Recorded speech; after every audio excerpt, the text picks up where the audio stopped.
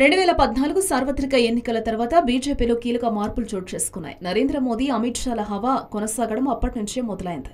దీంతో సీనియర్లంతా పక్కకు పోయారు. మొన్నటి ఎన్నికల్లో వయసు కారణంగా కొందరు నేతలకు టికెట్ ఇవ్వలేదు. మరికొందరు ఆరోగ్య కారణాలతో పోటీ నుంచి తప్పుకున్నారు. ఇలాంటి వేళ సీనియర్లలో కొందరిని ఇప్పుడు రాజ్యసభకు పంపనున్నట్లు తెలుస్తోంది. అయితే ఇది వారికి న్యాయం చేయడానికా లేదంటే సీనియర్లను పక్కన పెట్టారన్న మచ్చను తుడుచుకోవడానికా అన్నదే ప్రశ్న. మొన్నటి ఎన్నికలో భారతీయ జనతా పార్టీ దిగ్గజ నాయకులు ఎల్కే అద్వానీ మురళీ మనోహర్ జోషి వంటి వారిని పక్కన పెట్టి మోదీ షాలు విమర్శలు ఎదుర్కొన్నారు.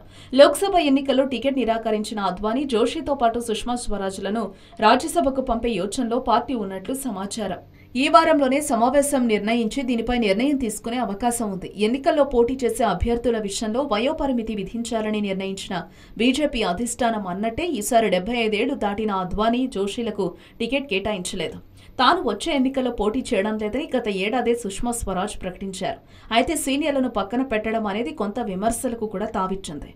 దీంతో ఆ మధ్య చెరిపేసుకోవడానికి దిద్దుబాటు చర్యలకు దిగినట్లు తెలుస్తోంది. ఆ క్రమంలోనే వీరిని పెద్దల సభకు పంపాలనుకుంటున్నారని తెలుస్తోంది. పెద్దల సభలో ఈ నేతల అనుభవాన్ని ఉపయోగించుకుని వారిని వారి అభిమానులను సంతృప్తి పరచడంతో పాటు విమర్శకుల నోళ్ళు మోయించడం కూడా బీజేపీ ఆలోచనగా తెలుస్తోంది.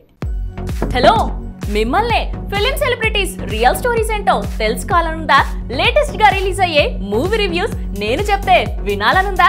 ఇంకెందుకు ఆలస్యం? యోయో టీవీని సబ్స్క్రైబ్ చేసుకోండి. అలాగే మర్చిపోకుండా యోయో టీవీ యాప్ని కూడా డౌన్లోడ్ చేసుకోండి.